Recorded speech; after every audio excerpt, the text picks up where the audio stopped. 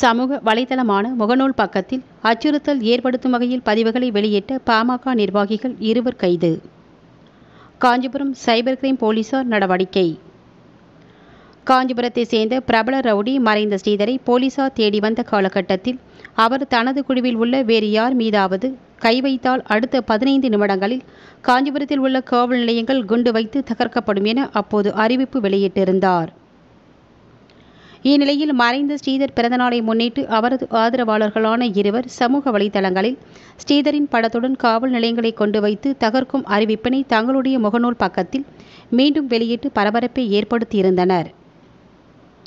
இது குறித்து காஞ்சிபுரம் வட்டாட்சியர் அளித்த புகாரின் பேரில் சமூக வலைதளங்களில் ரவுடி ஸ்ரீதர் குறித்து அச்சுறுத்தலை ஏற்படுத்தும் வகையில் அறிவிப்பு வெளியிட்டு உழக்கோல்பட்டு கிராமத்தை சேர்ந்த விஜயகுமார் மற்றும் அவருக்கு முகநூல் பக்கத்தில் வெளியிட உதவிய கிதரிப்பேட்டை கிராமத்தை சேர்ந்த கல்லூரி மாணவன் ரோஹித் ஆகிய பாமக நிர்வாகிகள் இருவர் கைது.